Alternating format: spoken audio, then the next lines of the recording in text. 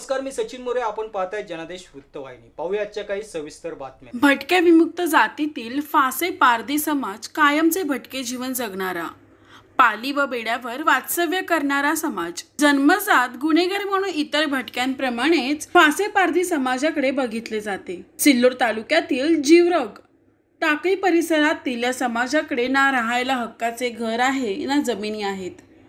शेकडो वर्षापासून सामाजिक शैक्षणिक आर्थिक विकासापासून कोसे दूर असलेला हा समाजाला विकासाच्या प्रवाहात आणणे गरजेचे आहे.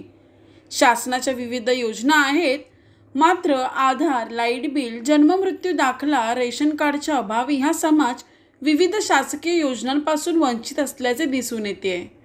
ज्यांना राहायला स्वतःचं घर नाही दोन फुटाची जागा नाही अशा समाजाला मेहरबान सरकारने मात्र केशरी रंगाचे राशन कार्ड दिले असून यांना त्याद्वारे आम्हाला योग्य प्रकारे धान्य मिळत नसल्याचे सांगताना येत आहे. फासेपारधी समाजाची सामाजिक आर्थिक स्थिती अत्यंत दयनीय असल्यामुळे ही जमा समाजाच्या मुख्य प्रवाहापासून कोस दूर आहेत? अठरा विश्व दारिद्र्य भीषण आर्थिक दैन्यावस्था गरिबी दारिद्र्यात व गुन्हेगारीत प्रवृत्तीत खितपट पडलेल्या कुटुंबातील भटक्या मुलांना शिक्षणाच्या मुख्य प्रवाहात आणून त्यांना प्राथमिक शिक्षण देण्याची आज गरज निर्माण झाली आहे. पोटाची खळगी भरण्यासाठी शासन स्तरावर या समाजाला गायरान जमिनी कसायला देणे गरजेचे असून यामुळे या समाजाचा पोटापाण्याचा प्रश्न मिटू शकतो. त्यांच्याबरोबरच विविध शासकीय योजना प्रभावी राबविल्या तर त्यांचे जीवनमान उंचवण्यास मदत ठरेल यात मात्र शंका नाही आहे येथील काही नागरिकांनी त्यांची व्यथा जनादेश वृत्तवाहिनी समोर मांडली आहे.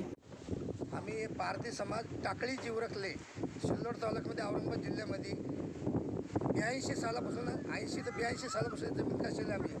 तर गावकरी लोकांना आम्हाला स्वतः घरकुल दरवर्षी म्हणता तुम्हाला रोड बांधून देऊ घरकुल देऊ पण घरकुल सरपंच निवडून येतं काय आम्हाला घरकुल देत नाही. आमचा घरकुलचा ठराव घेत नाही. आमच्या पारधी लोकांचे आम्हाला घरकुल जिथं पारधी राहता तिथंच अत्याक्रम करायचे तिथंच घरकुल बांधून देण्यात तेव्हा पारधी समाजाचे.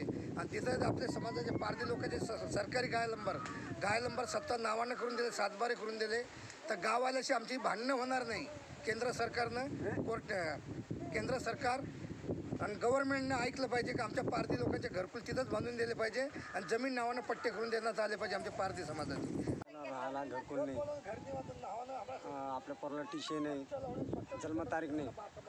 आपल्या इथं गॅस सिलेंडर नाही. आपण केंद्र सरकारला सांगणे कसं आपल्या गरिबाला घर दा द्या काय राशन भेटावं. काय पाहिजे आमचे पोरले व्हायचे ते शाळातून. काय शिक्षण शिकावं त्यांना. पाणीचं सोर्स नाही आम्हाला. बाथरूम पाहिजे आणि आम्ही काय म्हणता शौचालय पाहिजे. आम्ही असे उघड्यावर आंघोळ करता. आणि आंघोळ करायला बाथरूम पाहिजे बी घरकुल पाहिजे राहायला जागा पाहिजे. व आपलं शेती वाढायला पाहिजे जागा पाहिजे. गायरान गायरातली सिल्लोडहून अंजली साबळे जनादेश वृत्तवाहिनीकरिता.